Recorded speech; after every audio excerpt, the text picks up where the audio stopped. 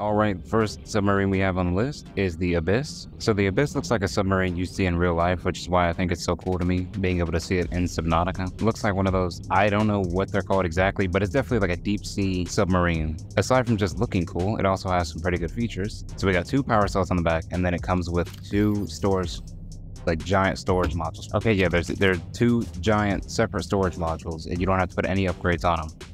If we go inside, inside the submarine, there's plenty of room to move around. It also comes with a fabricator. You got a you got a little upgrade panel right here. And unlike the other modded submarines, this one also has these valves that allow you to control the amount of power. Like you can dedicate power to certain aspects of the submarine. So this one does you can increase the vertical power, but it makes you consume more power. This one does lateral power, so going left and right.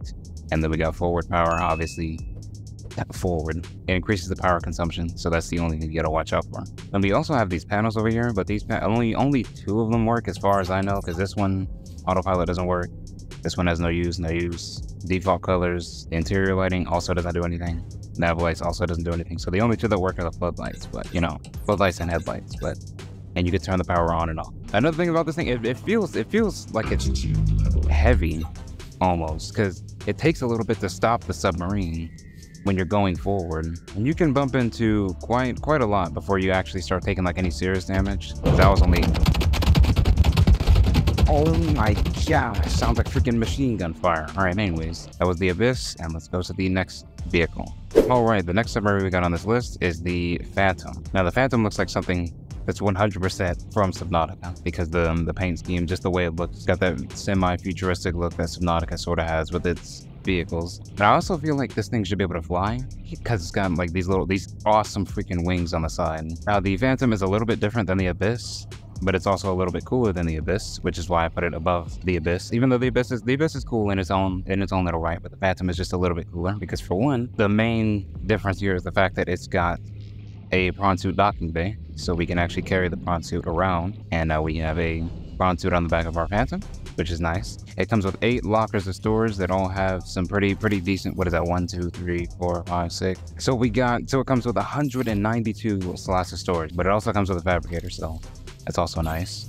And then you got the upgrades right here. Well, unlike the Abyss, this thing has six batteries. So it's a little bit overkill, but you know, the more the merrier, I guess. But yeah, the Phantom is not as durable as the Abyss, but it is faster. And it also looks cooler because it fits within the world of Subnautica. Now let's go on to the next vehicle. At the number one of this list, we have the Seal submarine, which is like the Cyclops on, on steroids, basically.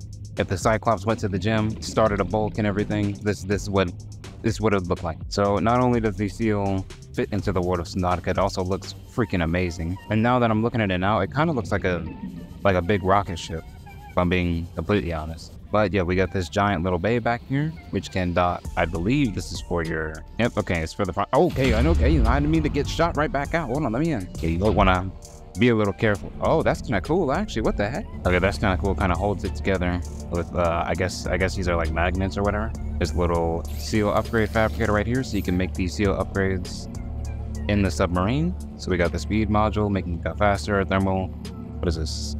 Okay, so basically the thermal reactor, solar, and then you got your depth modules right here. And we have the engine row.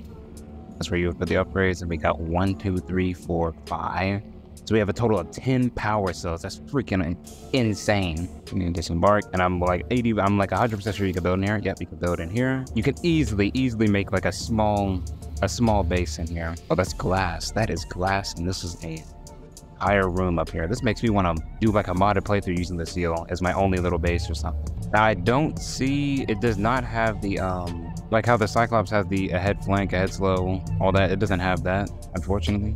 Wow, this thing is so big. It's so cool looking. Oh my gosh, the, the bigger submarine mods, whenever you have like a giant submarine mod, especially in Subnautica, it's just it's just amazing looking.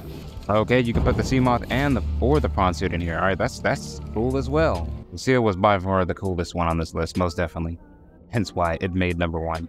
So at number three, we had the Abyss submarine, which is right here. It's the one that's a little little realistic looking. Doesn't look like it belongs to Subnautica, but it does fit in this game because it's a deep sea submersible. Number two, we had the Phantom, which is the sort of winged submarine. Looks very cool, very cool. And it can also hold the Cyclops. I mean, the Cyclops. It can hold the prawn suit on its back, but nothing more than that. Got some nice space, and it fits in the game of Subnautica. And then lastly, we have the Cyclops' big brother, bigger, much cooler brother who actually goes to the gym, the freaking Seal Submarine.